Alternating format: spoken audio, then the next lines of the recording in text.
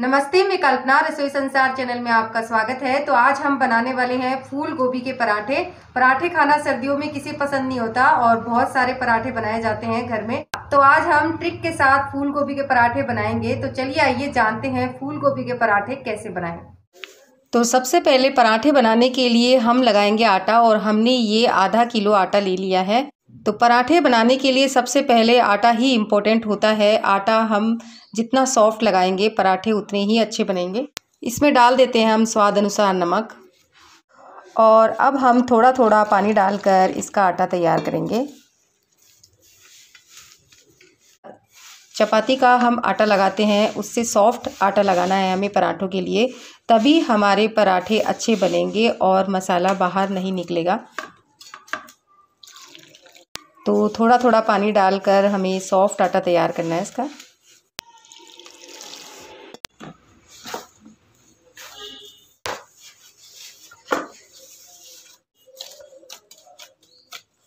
हम इसमें थोड़ा थोड़ा पानी डालकर इसका सॉफ्ट आटा लगाएँगे।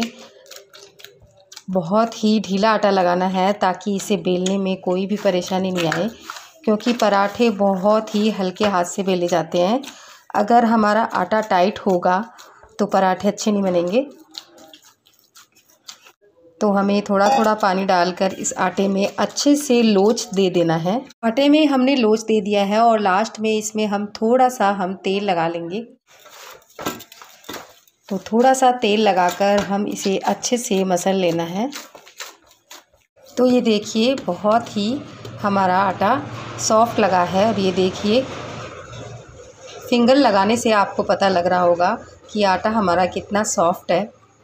और ये थोड़ा बहुत जो ये आटा सेट होने में रह गया है, थोड़ी देर हम इसे ढक कर ऐसे ही रख देंगे तो ये आटा और भी अच्छा हो जाएगा। तो आटा हमारा लगकर तैयार है और अब हमें फूल गोभी तैयार करनी है। तो हमने ये एक बड़ी साइज़ की फूल गोभी ले ली है। तो लगभग ये वन के जी की गोभी होगी। तो ये बहुत ही अच्छी गोभी है, इसमें कोई कीड़े उड़े नहीं हैं। और इसे हमने अच्छे से धो भी लिया है और अब हमें इसे पहले तोड़ लेना है ताकि और अच्छे से हम चेक कर पाएँ। ये देखिए। और इसे तोड़ने के बाद भी हम एक बार अच्छे से धो लेंगे ताकि ये अंदर से भी अच्छे से धुल जाए। तो पहले इसे हम तोड़ लेते हैं। तो देखिए, हमने इसे तोड़ लिया है। एक बार और हम इसे अच्छे से पानी से धो लेंगे, क्योंकि बाद में जब हम इसे कद्दूकस करेंगे, उसके बाद हम धो नहीं पाएँगे तो इसे पहले ही हमें अच्छे से धो लेना है। फूल गोभी को कद्दूकस कर लेना है। आप चाहें तो कोई सी भी कसनी ले सकते हैं। तो हमारे पास इस तरह की कसनी है। तो हमने देखिए कद्दूकस कर रहे हैं फूल गोभी को। हम इसे कद्दूकस कर लेंगे फटाफट से। तो ये देखिए, हमने गोभी को कद्दूकस कर लिया है। और आप देख सकते हैं, हमने किस तरह कद्दूकस किया है। तो चलिए, अब हम इसका मसाला बनाते हैं। तो हमने मसाले के लिए ये सामान तैयार कर लिया है। ये दो से तीन हरी मिर्च बारीक कटी हुई और लहसुन कुटा हुआ, अदरक दरदरा किया हुआ और ये धनिया पत्ती जिसे हमने धोकर अच्छे से कट कर लिया है, तैयार कर लिया है। अब कढ़ाई में सबसे पहले हमें एक चम्मच तेल डालना है। तेल हमें ज़्यादा नहीं डालना है, उसके बाद हम थोड़ा सा इसमें डालेंगे जीरा और एक चौथाई चम्मच डालेंगे हम अजवाइन। थोड़ी सी हमें डालनी है हींग। अब ये एक चम्मच डालेंगे अदरक ग्रेट किया हुआ और ये डेढ़ चम्मच डालेंगे हम लहसुन कूटा हुआ। तो चला लेंगे इसे। और साथ ही हमें डाल देनी है ये हरी मिर्च। तो अब दो मिनट इसे पका लेंगे।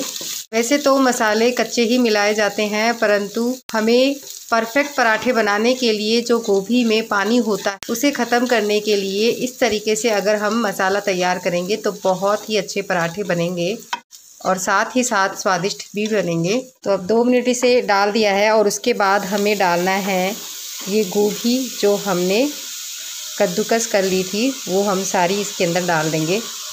तो थोड़ी देर इसे ऐसे ही चला देंगे ताकि इसमें जो गोभी में पानी है वो थोड़ा सा इसमें ही ख़त्म हो जाए। तो गैस को थोड़ा सा हमने मीडियम कर लिया है और इसे थोड़ी देर ऐसे ही चलाएँगे।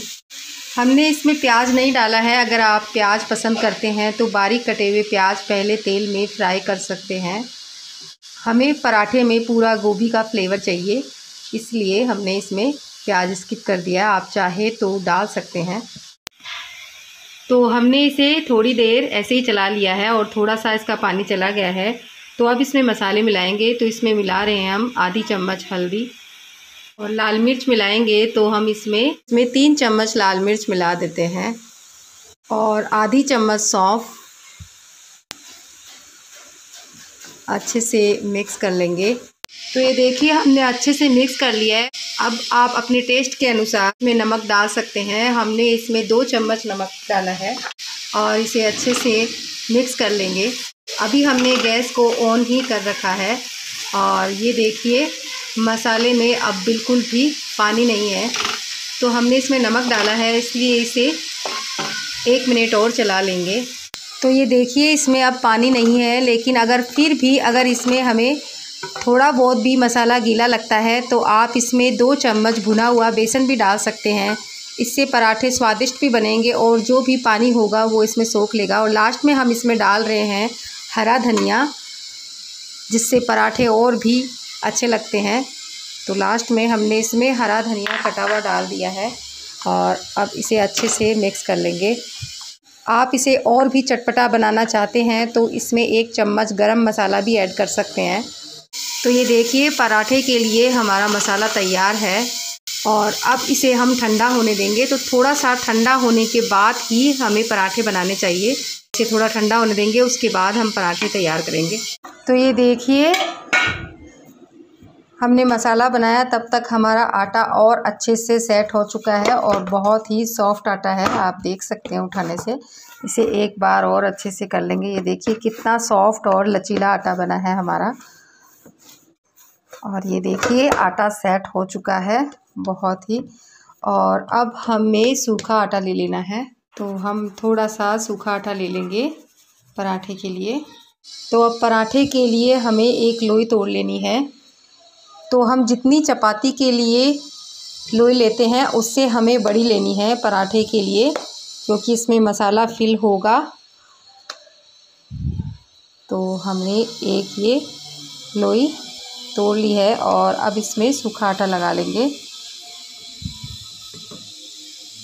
और इसे इस तरीके से हम कटोरी नुमा बना लेंगे मसाले के लिए। तो साइड में से हम पतला करते जाएँगे और बीच का हिस्सा मोटा रहना चाहिए।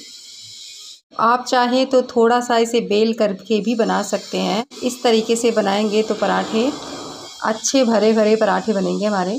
तो अब इसमें हमें मसाला फिल करना है तो अच्छे से दबा दबा कर मसाला भर लेंगे हम।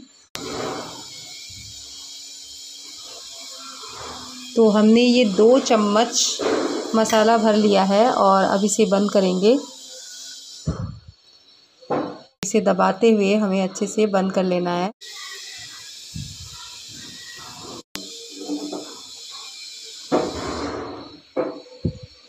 तो ये देखिए, हमने इसमें मसाला अच्छे से भर दिया है और इसे दबा कर मसल लिया है। और अगर आटा एक्स्ट्रा हो तो आप हटा सकते हैं।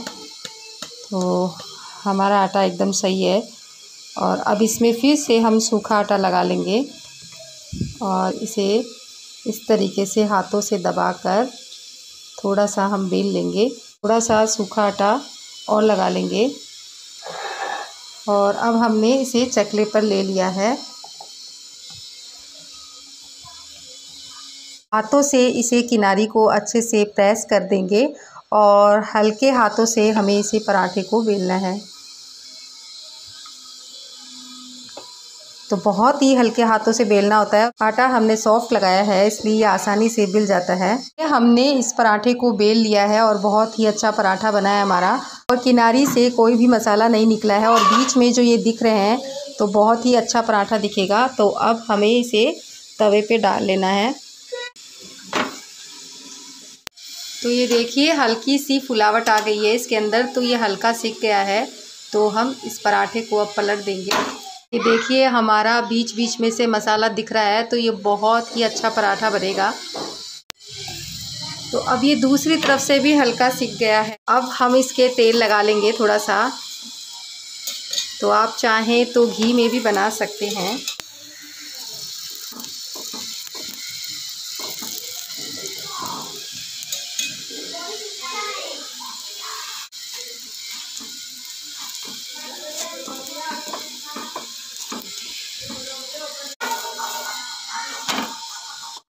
तो इसे दबाते हुए हमने पराठे को अच्छे से सेक लिया है और बहुत ही अच्छा पराठा बना है हमारा। तो अब इस पराठे को निकाल लेंगे हम। मम्मा। तो ये देखिए दूसरा पराठा भी हमने बना लिया है और इसी तरीके से हम सारे पराठे बना लेंगे। बहुत ही अच्छा पराठे बने हैं हमारे। इसके साथ ही हमने बनाई है ग्रीन हरे धनिए की चटनी। तो ये देखिए बहुत ही अच्छा पराठा बना है और हमारा। और ये देखिए और अंदर तक इसमें मसाला है और ये क्रिस्पी पराठा है। वाह बहुत ही यम्मी पराठा बना है। और आप इसके अंदर ये देखिए, मसाला भी देख सकते हैं। पूरा अंदर तक फिल मसाला है। देखिए। कितना अच्छा पराठा बना है हमारा गोभी का। और इसे हम ग्रीन चटनी के साथ खा सकते हैं। आपको अगर ये वीडियो पसंद आया है तो इसे लाइक और शेयर करें। चैनल को सब्सक्राइब करना ना भूलें। फिर मिलेंगे एक नई रेसिपी के साथ। बाय